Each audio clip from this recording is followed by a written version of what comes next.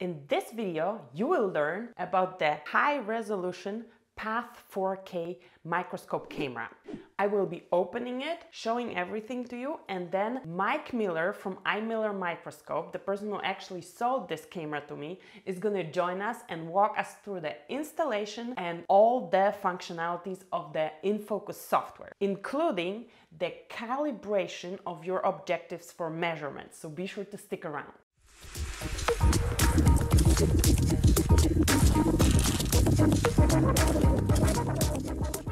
Hi, I'm Aleksandra Zuraw and I'm here to help you do better digital pathology. So if this is what you're after, be sure to subscribe and click the bell below to be notified every time I release a new video.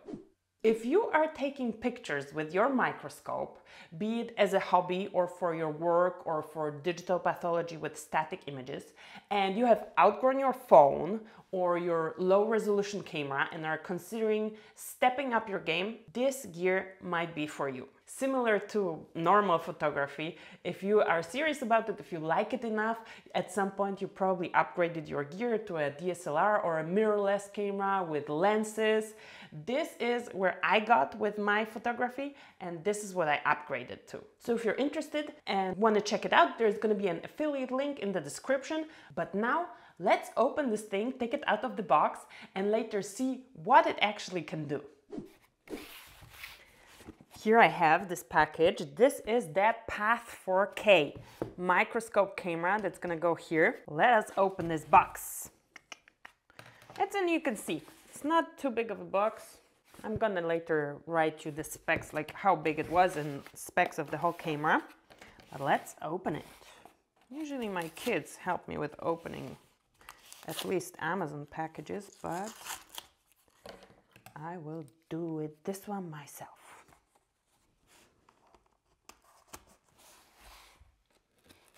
I got this one, uh, this camera from iMiller Microscopes, so they sure packed it well. Come on, come on, come on, come on.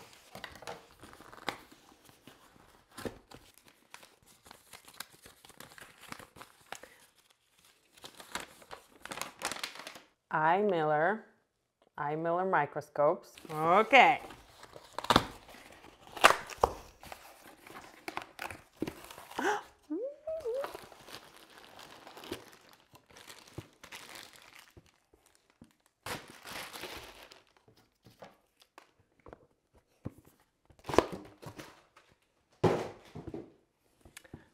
Here we have our Path 4K. It's actually as big as the box was. I like the box a lot. Ooh. I'm gonna show you all what's there. Come on. This is our camera and has all the outlets here. That's what it's gonna be. This can go. We have a charger. This can go. We even have a special mouse. Hmm. Card. This looks like a slide. Let me check it. I think it's a calibration slide. Indeed, this is a calibration slide. I will, this has a circle in the center with the 0.1 millimeter, 0.01 millimeter mark to calibrate.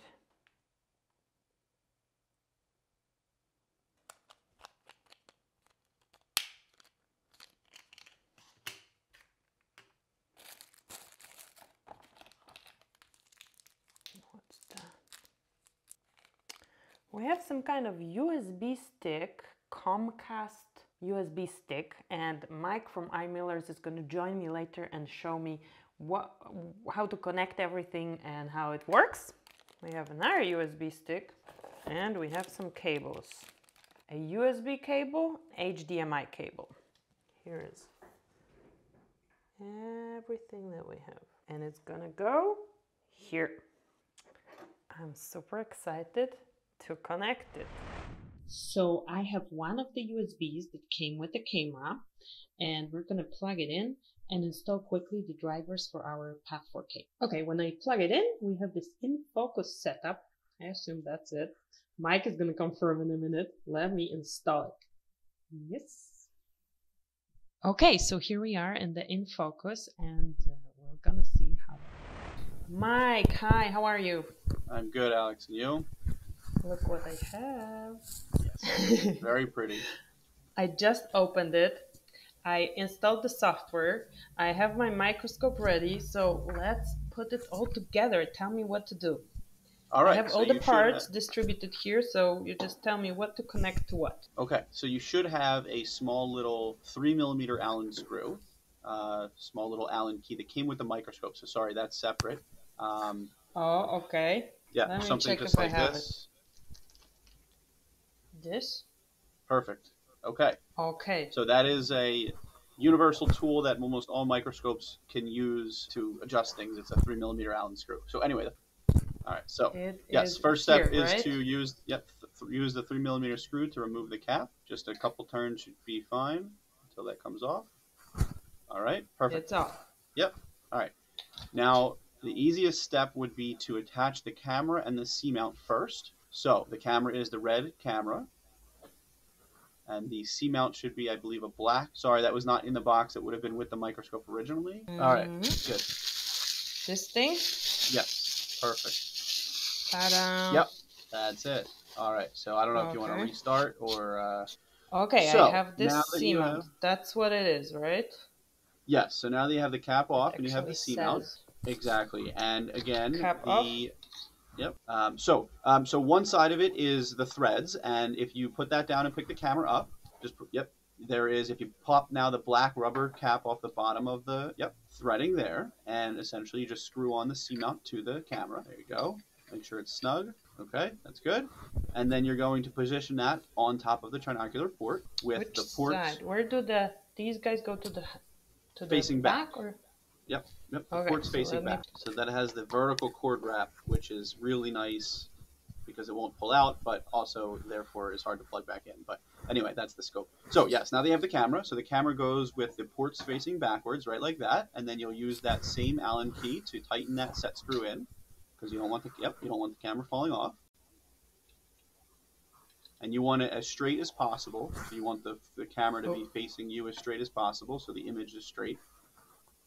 Perfect and just Okay. just tight enough so it's yep you don't have to crank it too tight just tight enough so it's not going anywhere perfect Okay. all right so the camera is now installed on the microscope the final step will be to plug and connect the camera so the camera has a separate power cord as well as a usb cord that should be with it yep Power so power cord? cord uh, you'll just untie the zip the twist tie plug that into the back of the camera showing everything Okay. here um, yep so that there's a separate port that you'll see easily identify where that goes To the uh, on front, back. right? Yep. Or Uh, it should be no, well. to the back. Yep, wherever the port. Yep, exactly. And it may be helpful too. You can actually spin the camera. Like this? Yeah. Yep. There you go. So now you can easily get to the ports. I- I- yeah. Perfect. All right. So that's Now power, said- and then the USB. And uh, yep, the small one. Yep, exactly. And because the camera has multiple output modes, that's why there's separate cords that come with it, and that's why there's also a separate power supply.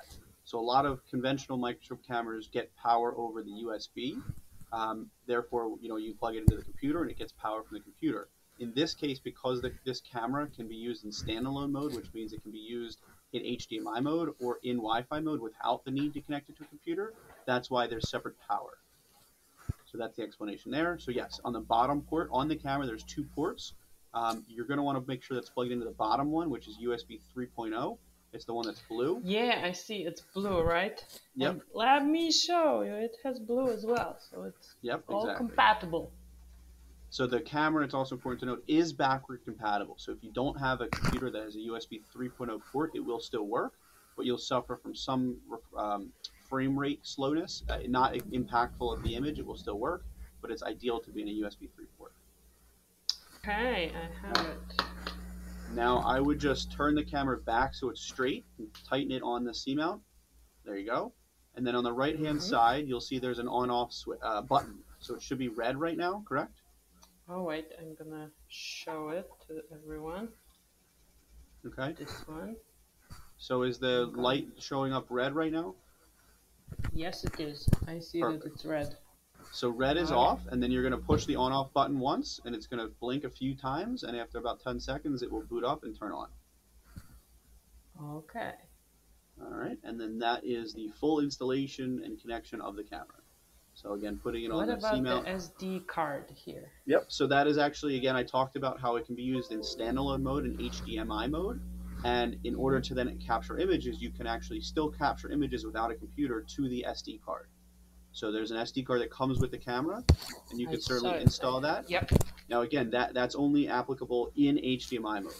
So we can talk about that Okay, again, so but right now we're focusing on Other USB mode. cable. Correct. Correct. Okay. Yep. Let me turn to the correct position. Yep. Okay. All right, and if you have the software already installed, then all you have to do is launch the software called InFocus. Ah, perfect. Okay, and right from here, you can see that in the upper left-hand corner, the camera list says Path 4K. So just clicking on Path 4K will bring us to the Yeah, that's our camera. Oh, we need a slide. Let's side here. Uh, there is a newer version of the software. It uh, functions the same. Um, the layout's the same. I can just tell tons uh, are so there is a newer version, um, but this will work for, for the demonstration purposes. Today. That would be helpful. And I know this Maybe is a minor clean thing, the but slide a little bit. yes. Yep. Beautiful. Okay. So out of the box, the camera works well, but there are a few adjustments that I would advise to make. Um, these are common adjustments that almost every microscope camera would be uh, needing to be adjusted out of the box. So the first Tell thing we want to do um, is just kind of going through. Um, can I have mouse controls here, or is that not capable? I don't think so for Okay. this one. No problem. Yeah, you have, Um, but everything is gonna be here, right? Yep, yep. So on the left hand side, we'll just work our way down. So capture, you have snap and record. That's obviously snapping a picture and recording Mhm. a movie. Um, below that is the resolution. So it's actually kind of nice. We are in a 4K camera, so this is 4K mode. You can lower the live and capture resolution if you wish. I would again, Okay. there's really no purpose to, but that's just what that does. Um, and then we can expand our exposure and gain options there. So that's clicking on the little caret. Yep, exactly. So in um, pathology work, for the most part, you're going to want expo- auto exposure on. That means when you go from objective to objective, the amount of light that So gets to the camera changes. So having auto exposure on will help compensate for the exposure. Now you can still, with auto exposure on, adjust the exposure target, which as you just did, up, um, you may want to bring What that back up. do? Uh, I think you click defaults, which which goes back to zero. Um, so just bring the um, nope, uh, bring the exposure target back up to about 120. There you go. 120. Okay. So that's 120 is default, but there's no right or wrong. It's whatever looks good for you. All right. Mhm. Now we can scroll down a little bit and expand the white balance tab. Oh, Okay. yeah. Now here again, standard is white balance. Now your microscope is an LED microscope. It's important to talk about this for a quick second. LED microscopes, LED bulbs have the same color temperature. So no matter what you do, when you increase the, the light, it stays the same color. Older halogen microscopes were, were, were um, had different color temperatures at different intensities. So when you would increase the light, it would get blue. When you would decrease it, it would get yellow. That would require you to white balance consistently. Again, with LED microscopes, once you do a white balance once, as long as nothing changes, then you shouldn't have to do it again. So in this, with the Mhm. Path 4K, with the InFocus software, the way you do that is select ROI. You click the ROI circle there. You'll see a region of interest comes up. Now what you want to do is you can move that exactly to a white space, and then that's going to capture that white as the new white. And then in this case, we're going to set this back to manual. So on the left-hand side, you'll just set it to manual. And then we're going to forget it. So right there, you did a white balance. If you left ROI up, it's going to use the ROI at all times. And if global auto is kind of automatically trying to white balance across the whole image, so point is manual is what you leave it at. Allows you to adjust it if needed, but if not, it will stay consistent. All right. Okay. What about this part here? This dark part. Good question, Alex. I, I, we, we can certainly um, fi- fix that. Um, what I mean is that's a phenomena in microscopy called vignetting. I guess in photography called vignetting. Mhm. Um, essentially, what you're seeing there is the improper magnification of a C mount. So again, we talked about the C mount. C mounts have magnifications. what you want to do is you want to expand the image um, to make to, to fill the field of view of the chip, the chip, the sensor inside of the camera. So right now we're using a half inch C mount, which is expanding it a little bit too wide, and you're actually seeing mm-hmm. the walls of the optical field. So the black aspect there is called vignetting. So really what, what we should do is provide you a 0.7x C mount, which would shrink our field, um, eliminating the vignetting. Uh, again, that was just a, an oversight on our part here. Um, usually we, we provide the appropriate C mount for the camera that you're using. Uh, in this case, again, it should be a 0.7, you have a 0.5. So you're just seeing a little bit too much. So it's called vignetting. Okay. That can be corrected. Um, it's an important thing so to talk about. the yep. C mount, we need the little bigger one. A little, yeah, higher magnification, exactly. Mm-hmm. Um, Sorry, higher. Now, there is mm-hmm. also, this is important to talk about. Um, with our podcast we did, um, there's ways and reasons you, you may want to see as much as you can in the field of view. So for a frozen section, you're not capturing images. You don't care about having a vignetting. You want to see as much as you can on the slide. So there are use cases where you use a lower magnification C mount to see a large field of view. Um, if you look through your eyepieces right now, you'll see that you see probably 95% of the field of view, which is sometimes desirable. Other times for pretty pictures, mm-hmm. you don't want any imperfections, and therefore you would use a different C mount to accommodate that. The software, I'll also note, can also have you crop, and you can actually capture to an area of interest to eliminate that in the software. But again, so proper microscope. Um, you would actually go to what I'm interested in. Yep, you would go to File, Image Select, and then you would select the area, and then you would capture that specific area. File. Uh, I'm sorry, Edit. I'm sorry, it's Edit. I probably believe. It's okay. Okay, where do I go again? Uh, edit, at the top. There you go. Image, Image select. select. And now just draw an area say. of an interest. Yeah. And now if you hit snap on the left, there you go. So mm-hmm. it only mm-hmm. captured that area there. And you can zoom in on this image. Um, it's just zoomed out. So um, holding control and scrolling with the mouse wheel allows you to zoom in. Um, mm-hmm. now, when you do uh, image select, you, you, you do shrink your size. When you blow it up, you do get some pixelization at some point. Uh, but again, proper way is to use the proper C mount to eliminate that. And Alex, as a quick aside, if you wanted to, we can ship you one out tomorrow, and we can redo this next week if you prefer. Um, or this is okay, a good opportunity to talk about this. this. Uh, let's do this because then I can show the thing with the vignetting, okay. and then we're gonna I'm gonna put the right C mount and when we're gonna show the correct. I think this is important information because that's happening with every camera. Right, right. Well, it's important. Again, knowledgeable person, knowledgeable sales rep would identify the right C mount and provide you the right C mount with the camera. In this case, we sent you the camera for evaluation. You had already bought the C mount. That's where the disconnect. We're happy to send you the proper one, though. That's no problem. So I'll get that sent out to you today. Okay. Um, so, okay. Um, but we can still continue talking. So, so again, here when you click capture, um, the way that the software works, and please keep in mind, everything about this software can be customized. The way that it comes by default is when you click capture, it brings you to the captured image. So if you move your mouse down a little bit, nope, sorry, um, across, just move out of the capture area, just click anywhere else. So see where it says now video path 4K at the top, the tab?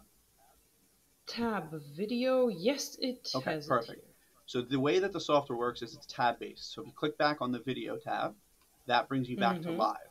So again, when you click capture, the, ca- the software by default shows you the captured image.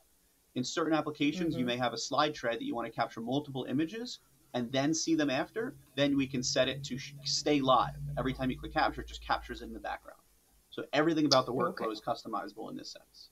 Um, what we want to do is uh, go back to edit and uncheck image select because now it's going to crop our next images as well. So uncheck that.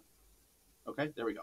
So um, again, um, we, we kind of skipped to capturing an image, but uh, we, we can also go back through um, our, our white balance we covered, color adjustments.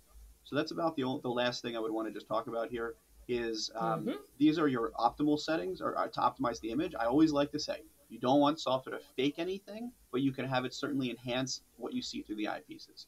So I say that because you looking through the eyepieces can say, okay, this tissue looks, the color looks accurate, perfect, we're happy. Now I know that by default the camera, the gamma of the camera may be a little too high, so maybe a little bit too pink. So if you see the gamma slider there, try sliding that to four or five and seeing if that is a better representation of what you see through the eyepiece. Mm-hmm. Yes, it looks more right. more well, five is optimal. Five is more or less what I see under the Perfect. microscope. Perfect. Yes. Okay. So again, that the, the two things out of the box with this camera and with most cameras is you want to do a white balance for sure, and you may have to tweak the colors because every sample is different and all that. So Mm-hmm. um, okay. Then as far as the other options go down there, um, th- th- those are all minor settings. Um, the only other thing you may want to is hit flip.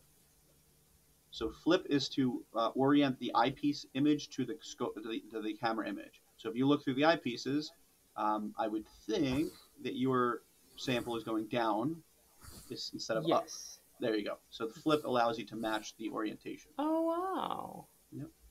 That is nice. And this, wait. Mm, no. This is matching. Okay. All right. Um, again, dark field correction and miscellaneous. Don't worry about those. Those are uh, features that don't really apply. Um, and that's really it. So for pathology and, and, and in the clinical space, um, people you just want it simple and image capture. So again, there's ways you can do things that you see across the top. You can measure. Um, measurement's important. We can Oh, you here. have to calibrate the microscope. Yep. You have to calibrate the system um, before you measure. And I know here is the calibration slide. Yep. And I have videos on calibration, so I have a workflow on how to calibrate it. Um, you would go to options calibration, and you would use the calibration slide um, to then provide your, your calibration. So if you hit yes here, um, uh, hit, ye- hit yes. So essentially what you would do in this case is if you move that window out a little bit, the calibrate window out of the way, you see there's a red line there. Oh And yeah. essentially, what you're doing is when you put your stage micrometer on there, you tell the red line this line equals, let's say it's one millimeter, and then you you add, you put that information in, and then your We system is can do this. Sure. Perfect.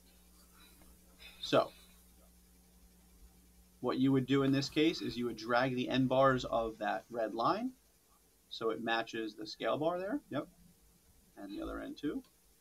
And then it, obviously it's a little bit zoomed out. I believe you're on the 4x. So what you can actually do is hold the, no, leave it on 4. Um, Sorry. Okay. So It's you want it- you have two to and a half. Okay, two and a half. So you have to calibrate each objective individually. But what you can do Okay. is if you hold the scroll bu- uh, hold the control button and scroll up with your mouse wheel. Uh, if you're on a laptop, perhaps you see in the upper left hand corner. Yeah, there you go. Okay, so you're, you're getting it. So um, yeah, so we can we can zoom in and um, now we can actually uh, make sure that we can fine tune that to make sure our calibrations are accurate. That is fantastic. Yeah. All right, and then in this case, when you're done with that, in their magnification, just double click in there and you can type in the magnification you're at. And that's two and a half. And then the actual length, I know that scale that stage micrometer we give you is one millimeter. So you're actually going to put in one millimeter or a, a thousand microns. Um, uh, Millimeter. yep, two down. One. Mm-hmm. And then hit OK. Okay. All right. And now we are calibrated for the two and a half X. And now a way that you can Okay, te- check your we- calibration Again. Yeah, sorry. Uh, a way that you can check your calibration is clicking uh, on the scale bar. I'm sorry, the the, the um, distance line tool, which is up at the top, just below where it says window. It's the first line icon there. Can't. Okay. Uh, yep. Exactly. And then that's going to create this crosshair cursor, and that means that we're in the line drawing tool. So yep. And again, you can hold control and, and zoom in to, to uh, and, and scroll up to zoom in. But I have a pretty good uh, uh, under, oh, but yep, exactly. There you go. And now you can confirm that that is now showing one millimeter. Okay. Yes. Now again, I Okay. want to keep this simple, and for the sake of time, I have videos on how to do all of this. But on the left hand side, We're gonna link here, in the description. Yep. Whatever you know, more side- advanced resources you have, we put it in the description. set the default line colors and the default text colors. Um, again, that's more, uh, you know, above and beyond how to show you how to do things. So you can change when you when you when you make a measurement. This window appears called measurement. You can then change parameters about that exact measurement. So if you wanted to change the line color or the width, you can do that there. But again, you can actually change the yep. You can also change the default properties of the line. So you can say every time I draw a line, I want it to be black or red or green or whatever the case is Mhm. These are the standard is by default it shows you uh, red Okay, and where do I do I do I do the standard? Where do I So- change the standard color? Yep, under options at the top, uh, measurement, and then object on the left hand side. So actually, yep, we could stop here. Yep, so right there is actually the label color.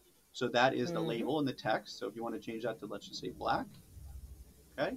Um, and then under object, here is all of your measurement tools. So the second one there is line, and you can see it says uh, line color. Let's just change that. You know, you can do black again if you want. All right. I also suggest changing the line width to about five. Oops, sorry, stay there. So the width there, um, just above where the line color is, yep, change that to about five. Mhm. And then other things are, um, that's really it. But each measurement that you see across the top bar there, these are the default properties. As you see, set the default properties of the measurement object. So if you are constantly doing a an arrow or a text box, these are all things, and this is where you change all those settings Mhm. by the de- default settings. Okay, so now if you hit apply, and okay. And now if you just go back to the, you're you're already on. So see how the cur- the line is the the icon at the top under window is still selected. It means you're still in line draw mode. So if you draw another line, you to just be it can be anywhere. Um, Oh, okay, it now, changed. yep. Now you'll see it's a little thicker and it's black. Okay, so we changed the default properties of those lines. Now, if you wanted to move the text box or readjust the line, there's a little shortcut. It, you can you can move the mouse up to the top and select the selection tool, the cursor, or just right click. So right click with your mouse, and that crosshair then changed to the cursor. And now you can go, you can move that text box if you want. Um, yep. And you can even then grab the end bar. And, uh, you're grabbing the whole thing, but there you go. Or you can grab the end bar and reposition the line. Mhm. Perfect. So again, we calibrated this. Now it's important to note we only calibrated this so far in the two and a half X objective. So if you see in the upper left side, upper left area where it says millimeter and then 2.5x, so that is where you would select different magnifications. So here we only did Mhm. two and a half, but if you did the 4, 10, 40, you would then select that. Now again, it's important to note your microscope is not encoded. Most of them are not.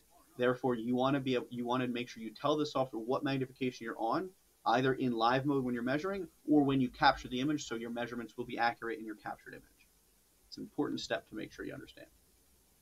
Okay, And I know I'm rambling a lot here, so I apologize. But no problem. Anything else that's, I mean, I can explore everything here. Uh, Yeah, And so the the, the other things are um, I usually clean up the user interface a little bit. So on the left, the bottom left, you see how you now have the measurement tab is selected. Then you have layer, undo, and folders and camera. I usually hide all of those tabs besides camera for my clinical customers. Um, it just cleans up the workflow a little bit. Um, how do I can all- do this? so so Oh, under here. the measure tab, yep, just click on the little uh, click on the now go up towards the top again, and there's a little red X. Yep, and then close layer, close undo redo, and you can leave folders up. Folders is how you navigate to your previously captured images, but camera the camera tab you want to keep the camera tab up because that's your settings. Mm-hmm. Again, the software is very um, optimizable. So, like in this case, you see the little back up towards the top. There's a little pin next to the red X that you were just at. So this is auto hide. So if you, if you select that, click that, and then move the mouse off of the menu, move there, it automatically hides it. So you have a larger screen to work with. Ah, Okay. You put the click the pin again, and it will pin it back to uh, to always showing it there. Okay. So that's cleaning that up a little bit. Um, again, if you're not going to be doing any measurements, or if you want to hide all of the other measurements, we can hide those icons. Um, the software is very customizable in that sense. The last thing I would talk about is really just capturing, which we kind of went over, and saving. Okay. So Mhm. in this case, I don't know if you want to put your Let me change the slide back slide. on. Yep.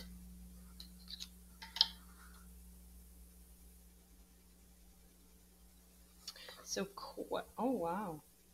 There you go. And if you want to do, um, you can hit Control A, or you can individually select your measurements and hit Delete. So if you hit Control A, you're selecting them all, and then you can delete them all.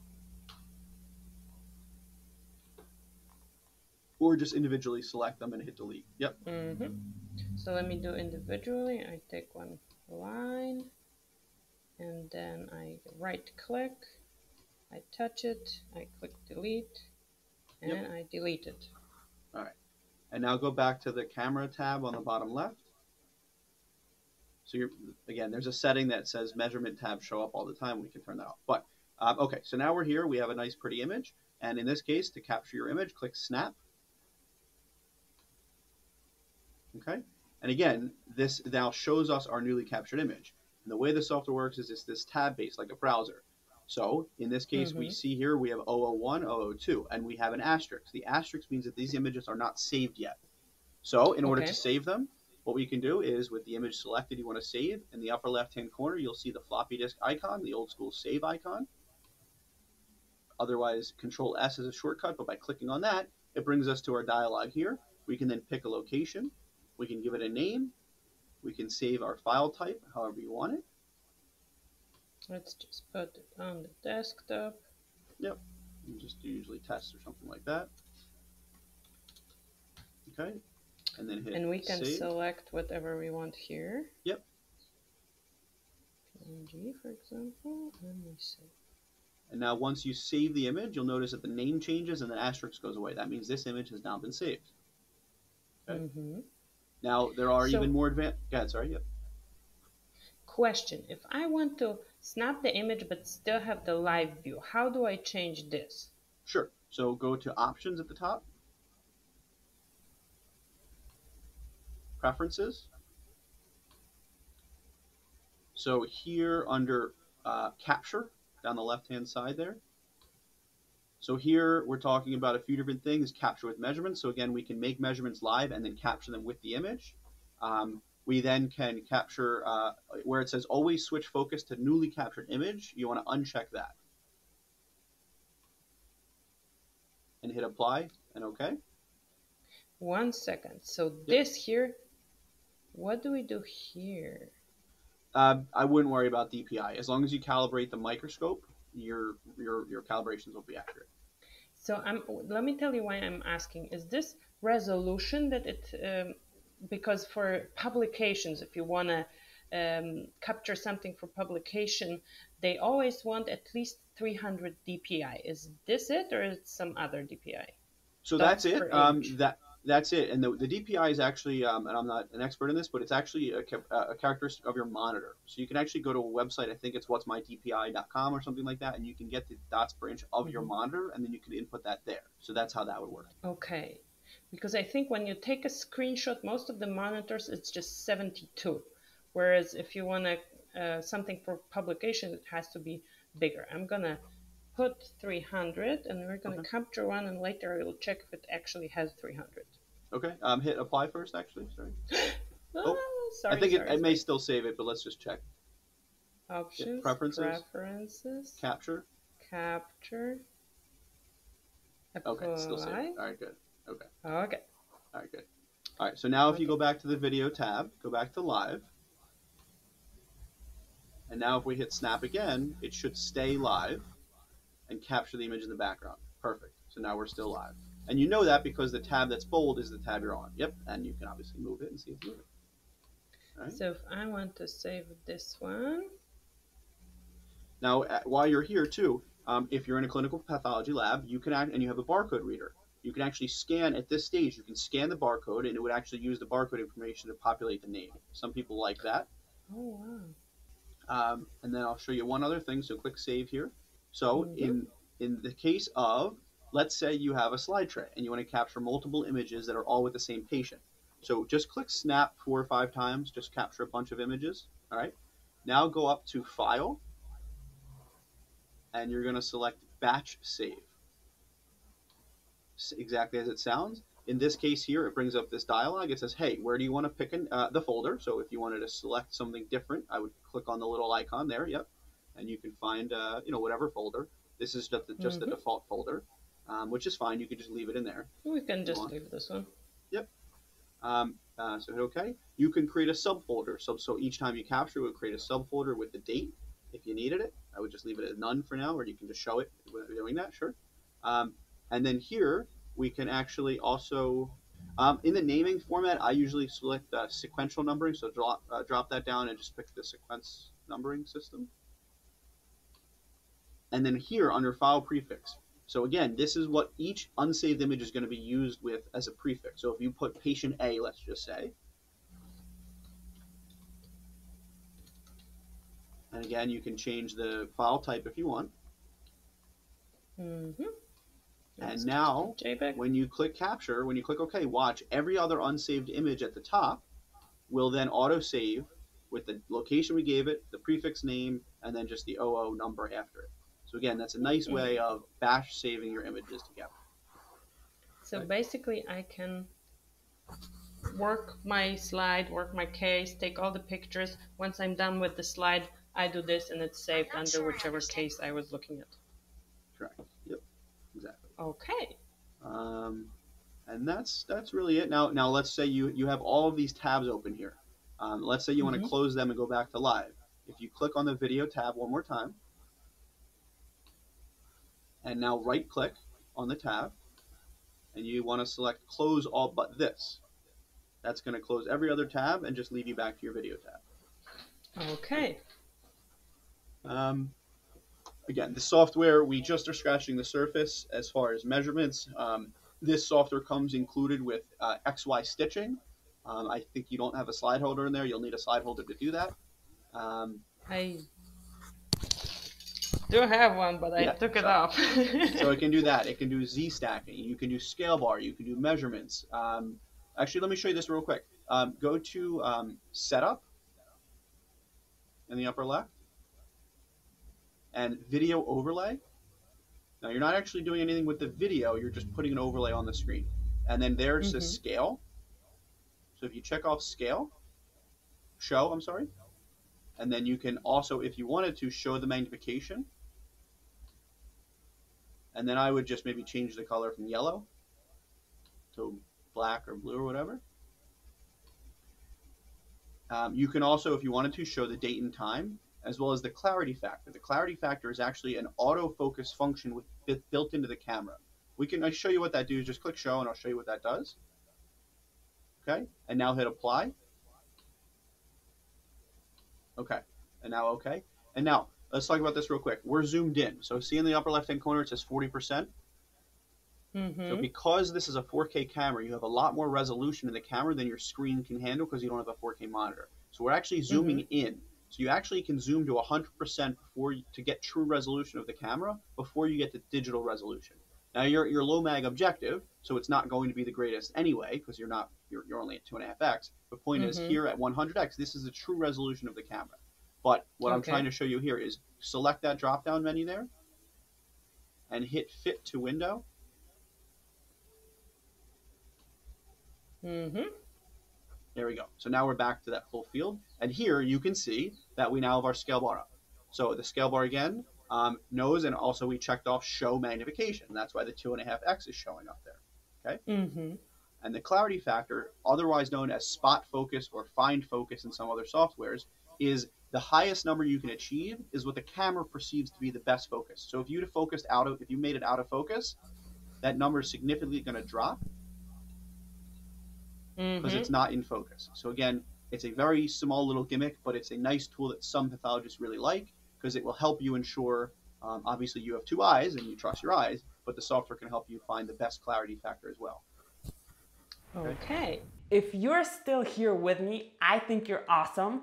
And it also means you're serious about your microscopic photography. So if you're interested in checking the camera out, there is an affiliate link below. This link is to take you to a page on iMiller Microscope webpage, and they're to ask you to type your email and um, it's a special page for me. You're to get a special offer with this link, and the price point is what good DSLR with a lens would be. So go ahead, type your information there. No worries. Mike is to be in contact with you if you're interested in the camera. And I, of course, will very much appreciate if you buy it through my affiliate link. Once again, I appreciate so much you sticking till the end, and I'm gonna talk to you in the next episode.